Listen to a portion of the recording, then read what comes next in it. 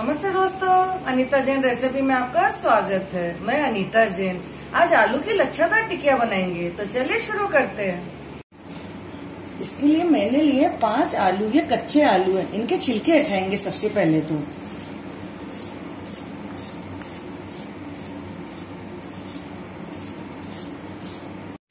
ये मैंने सभी आलू छील लिए और पानी से साफ़ कर लिए अब इसे हम ग्रेट करेंगे तो मैं इससे कर रही हूँ। इस तरह से कर लेंगे लंबे लंबे इस तरह से लंबी लंबी आए।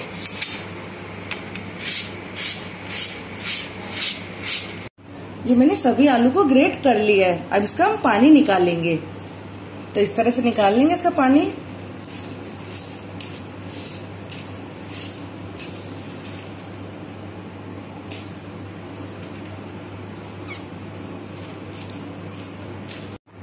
आलू में से पानी अच्छे से निकालना है। ये मैंने अच्छे से निकाल लिया है।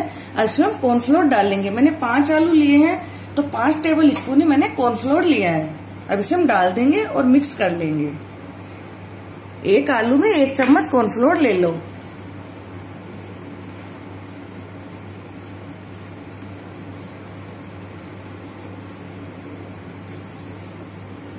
अगर हम आलू में से पानी अच्छी तरह नहीं निकालेंगे तो टिकिया अच्छे से नहीं बनेगी। इसलिए आलूओं में से पानी अच्छी तरह निकालें। अब कॉर्नफ्लोर को अच्छी तरह मिक्स करें।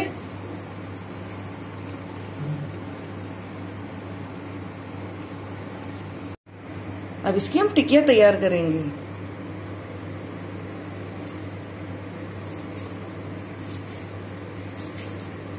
पहले तो इसे लड्डू की जैसे कर लेंगे।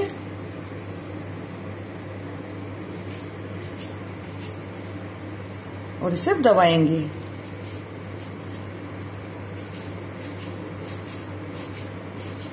इसे थोड़ा बांधने में थोड़ी सी दिक्कत होती है तो आराम से कर ले। इस तरह से बना लेंगे।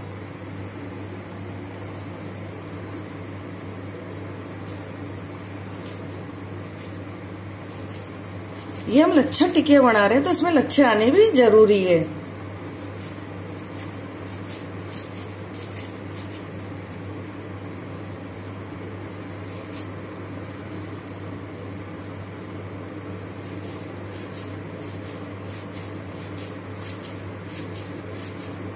अच्छी तरह दबाएँगे नहीं तो ये फैल जाएगी।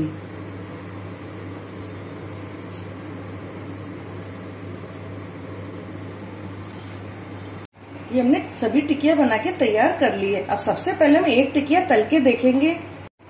तेल गरम कर लिया है। पहले एक टिकिया को सेक लेंगे, तल लेंगे। अगर फैल रही है तो कॉर्नफ्लोर और डाल लेंगे। गैस सिम रखेंगे अभी थोड़ी देर के लिए।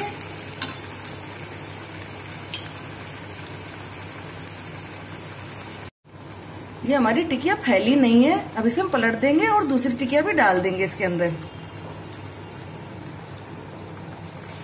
और इन्हें सेक लेंगे। गैस सिम रखेंगे।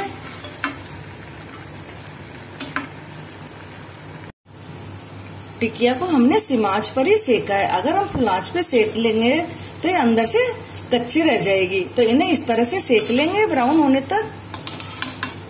और इसी तरह सभी टिकिया सेक लेंगे हम।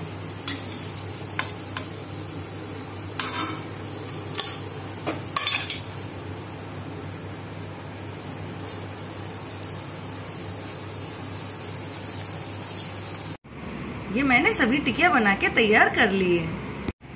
अब इसमें से मैं चार टिकिया ले लूँगी।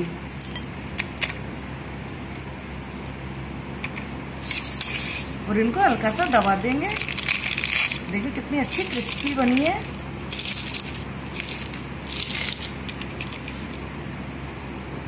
इसमें चाट मसाला डालेंगे।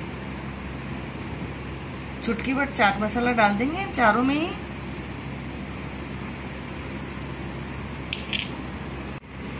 अब इन टिकियाओं पे हरी चटनी डालेंगे।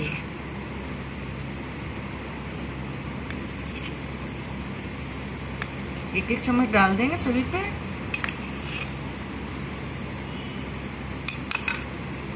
अब मीठी चटनी।